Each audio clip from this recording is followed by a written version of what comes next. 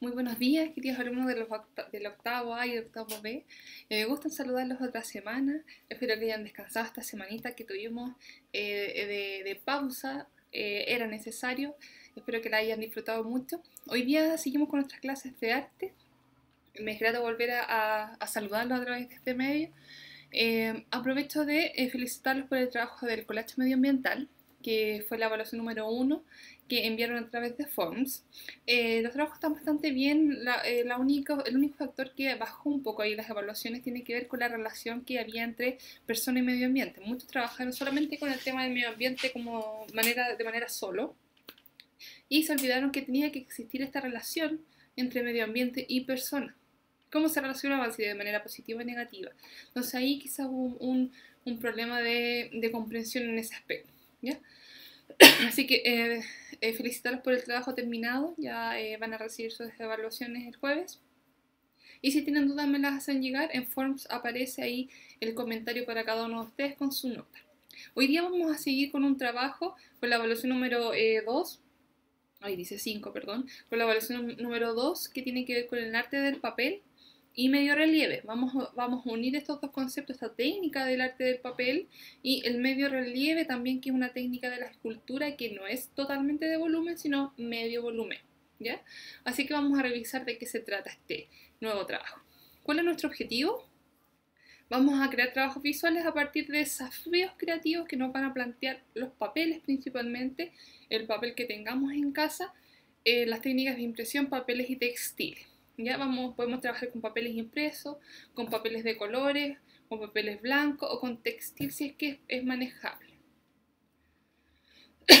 ¿Qué es el arte del papel o papiroflexia? O también aparece de otro, aparecen diferentes nombres para el trabajo del papel. Aquí tenemos un, una obra que es con dobleces y cómo enroscar el papel con franjas de papel, ya que nos producen un medio relieve o un bajo relieve porque no es totalmente plano ni tampoco tiene volumen por todos lados. ¿Qué es este concepto? Vamos a definir también, lo podemos entender como origami, que el origami es un doblez más de volumen completo, pero también tiene mucha relación con esto. Eh, es un arte japonés con la tradición tan que se pierde en el tiempo. El origami podría definirse como un plegado de papel, como lo había mencionado, con el fin de conseguir un elemento figurativo. No se utiliza para creaciones abstractas, sino que es más bien de línea simple eh, eh, que se construyen elementos figurativos plegando diferentes tipos de papel, doblando papeles de diferentes colores y aprendiendo algunas figuras básicas como aparecen acá, que pueden ser dobleces, pueden ser que se van enroscando, pueden ir repitiendo un patrón para hacer formas. Como dice aquí, de flores hasta molinillos, pensando, pasando por barcos, cajas, árboles o pájaros. Y aquí tenemos un lindo eh, cangrejo que tiene millones de dobleces adentro con una sola gama de colores. Ustedes pueden elegir los colores que quieran. Aquí tenemos la gama de los azules y el blanco para poder trabajar con un medio relieve porque tiene un relieve bastante eh, amplio y eso lo van a definir ustedes con la franja de papel. Acá tenemos un ejemplo que no solamente tiene que ver con papel doblado, sino que también le agrego una ilustración, un dibujo. Ustedes van a poder crear un elemento completamente de papel o lo van a poder intervenir también con una ilustración si es que quieren. Están eh, ambas posibilidades. Para practicar el origami solo necesitas papel, por lo que el hogar es un lugar perfecto para practicarlo, pero eso es una técnica que no requiere de muchos materiales y que vamos a poder crear. Las formas que pueden conseguir son infinitas, ustedes van a, eh, a elegir dentro de un tema que yo les voy a dar, por lo que practicar el origami nunca te aburrirás porque eh, eh, requiere de mucha paciencia. Primero hay que formar bien la idea de lo que vamos a crear y qué formas vamos a utilizar dentro de mi composición. Las grandes ventajas del origami son las que yo les acabo de mencionar.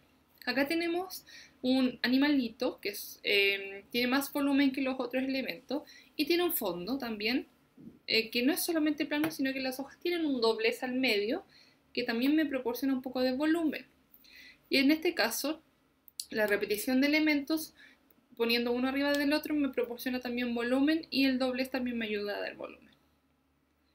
Vamos a ver ahora vamos a revisar qué es el concepto del medio relieve para que después lo podamos ensamblar y hacer nuestro trabajo. La definición. Nos vamos un poquitito para atrás.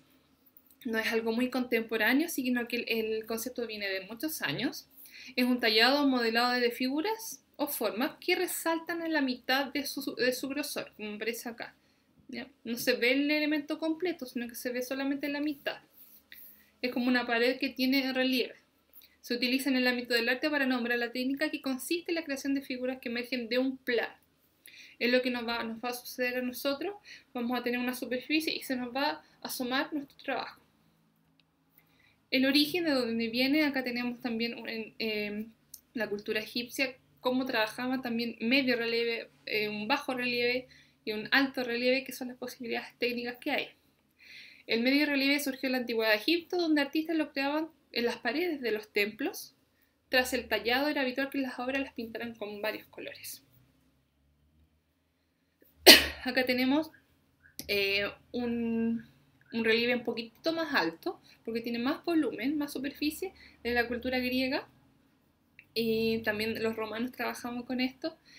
Eh, cómo se trabaja un elemento que sobresale, pero que también tenemos un soporte eh, fijo. ¿Ya? Revisemos la actividad, qué es lo que vamos a hacer.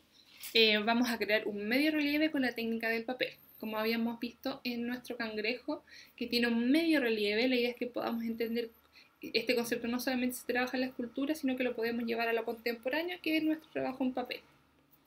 ¿Qué materiales necesitan? Papeles, los que tengan pueden ser papel lustre, papel cartulina, estos bloques que vienen varios, varios tonos adentro. Puede ser papel entretenido.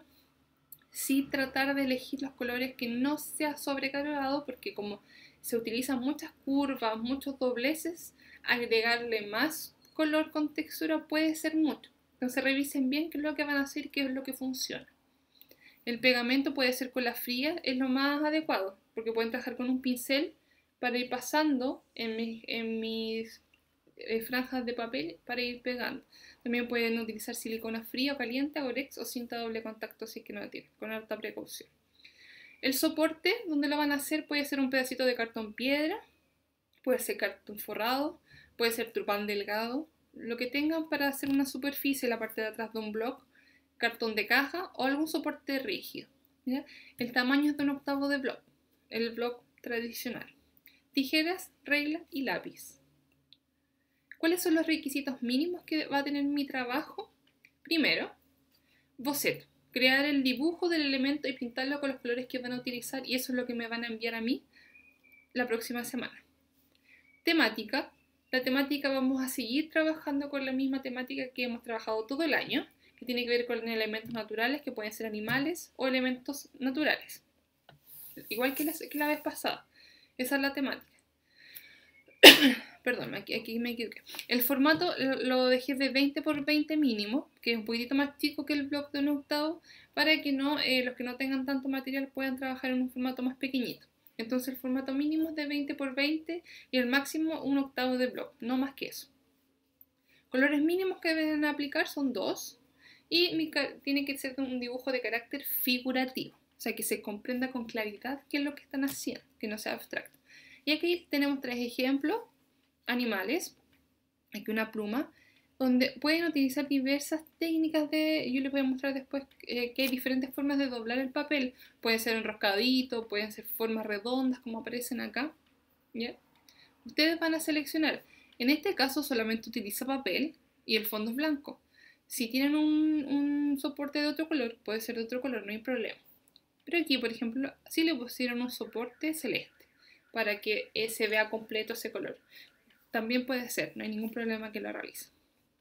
Y aquí tenemos el filigrana, que es la técnica de los dobles de papel en tiras, que es una técnica específica, y les dejo aquí algunas formas que pueden ustedes trabajar los dobleces para poder lograr ir, insertando dentro de mi dibujo.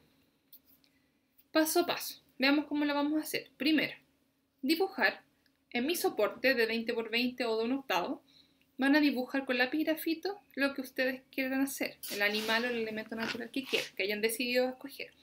Los colores van a reunir todos los papeles que tengan para ver qué colores van a utilizar. No es necesario que ocupen todo lo que vean, sino que seleccionen los colores más adecuados. Marcar, realizar marcas con medidas. Deben hacer las tiras de papel primero, antes de comenzar, para hacer los dobleces. Es bueno que hagan las tiritas y jueguen con los dobleces y vean cuál funciona mejor y cuál les gusta más. Recortar, realizar cortes del, mismo tamaño, utilizar medidas y cortes con, regla, midan con regla y corten con regla, súper importante.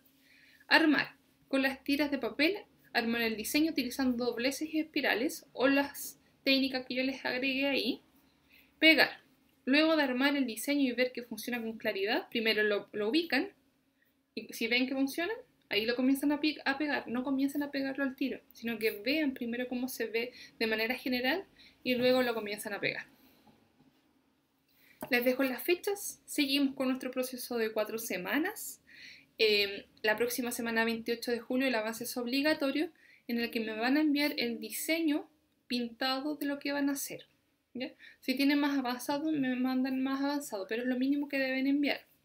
El martes 4 de agosto el avance es opcional el martes 11 de agosto la entrega es final a través de Forms, al igual que como lo hicimos la eh, vez pasada.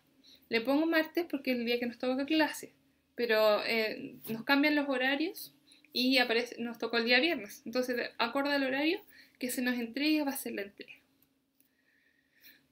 y les dejo la rúbrica. Em, ustedes ya saben eh, cómo se trabaja, revísenlo para que puedan ir cumpliendo todos los indicadores.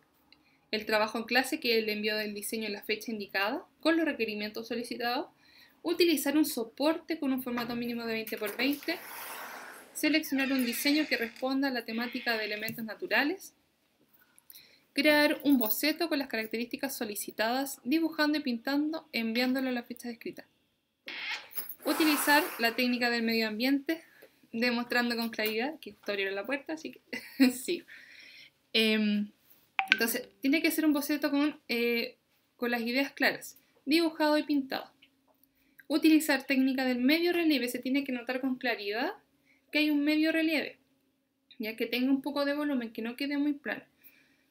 Responde correctamente al procedimiento de corte y doblado, que esté bien hecho ese trabajo, y la limpieza de oficio que tiene que ver con el producto final y sobre todo con la foto que esté bien sacada.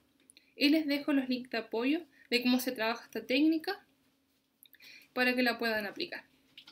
Y la información general que ustedes ya manejan, recuerden que el correo es para enviar los avances y mi celular solamente en caso de eh, que tengan alguna dificultad con el correo. Espero que disfruten el trabajo. Eh, comienza desde ya porque es un trabajo que requiere de, mucho oficio y de mucho, mucho trabajo en detalle. Así que eh, aprovechen su tiempo, parecen poco cuatro semanas, pero, o sea, muy, muy largo, pero son pocos, poco tiempo. Así que espero que lo disfruten. Cualquier duda me la hacen llegar. Les dejo un gran abrazo y que estén muy bien.